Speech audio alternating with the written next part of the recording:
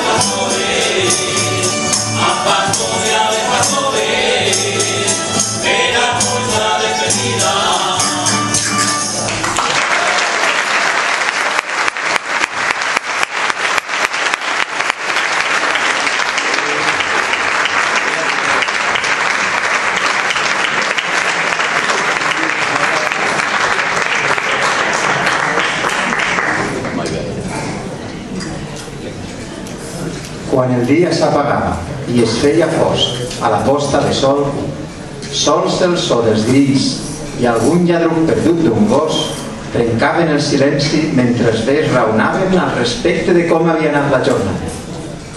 Els xiquets, al temps, ja anaven a dormir. Era l'hora de gitar els menuts a casa i de cantar-los una cançó de bressol.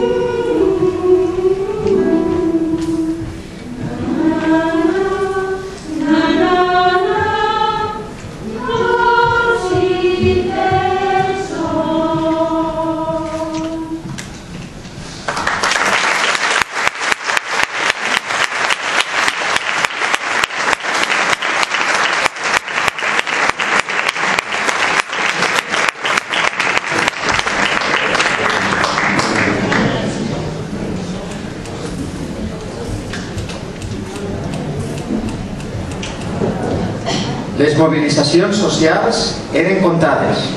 En poques ocasions, el poble en conjunt es desplaçava fora de casa, però quasi tots hem sentit comentar veïns les visites que els benicarlandos fien a l'ermita del Socors per la festa de Sant Vicent. És l'hora de ballar la jota de la banda de Càlig.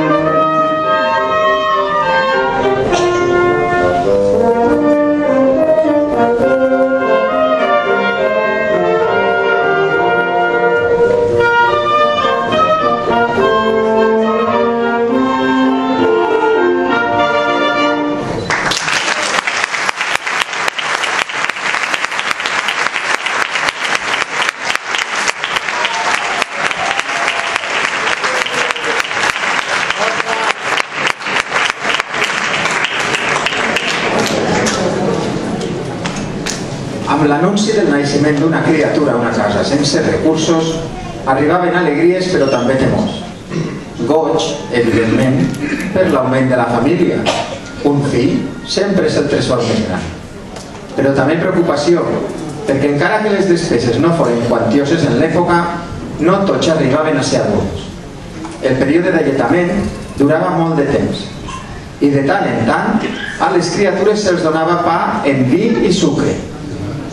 Així, aquestes dormien un poc més i els pares podien treballar.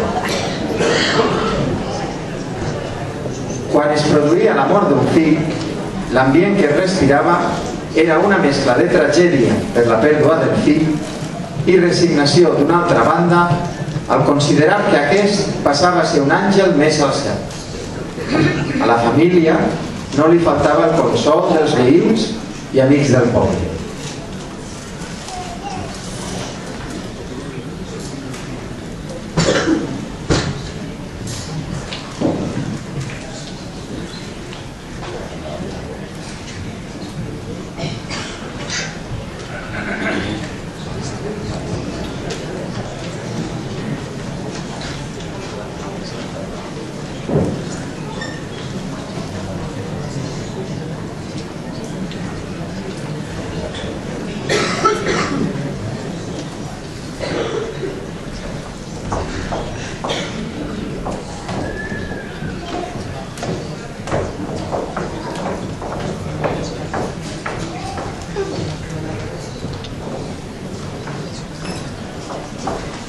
Continuació a la mort del meu fill.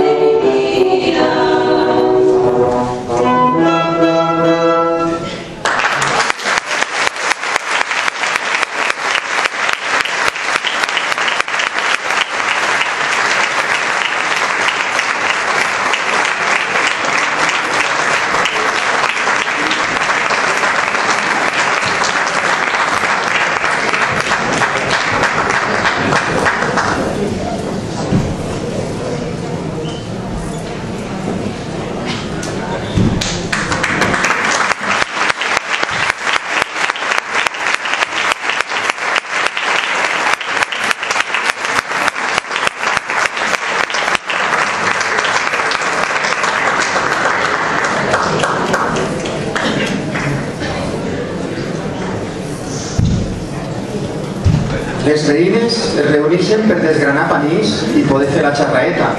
Cacau i tramussó. Cacau i tramussó. Formatge de catí i gavà, formatge de catí. I tramussó.